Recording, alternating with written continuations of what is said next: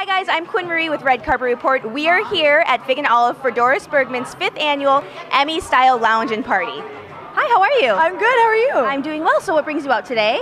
Um, well, it's always fun. To, I mean, Doris throws the best party, period. So I always try to come out and support her. And um, and this is really a fun event. Everybody's getting excited about the Emmys coming up, and yeah. Any favorite television shows right now? Yes, Ray Donovan. I am a fanatic of. I'm also a, a huge fanatic of um, Orange is the New Black, and um, and you know what? I always love Modern Family, even though it's not nearly as dark as either of those. But um, two really, uh, all of them are really good shows. Yeah, good, good choice. Can we talk about uh, Swallow Your Bliss a little yes. bit? Okay. Yeah, we're still trying to find a home. Okay. I did I did um, a comedy last year. We did a pilot for it, and it's and it's getting shopped around now and trying to find a house.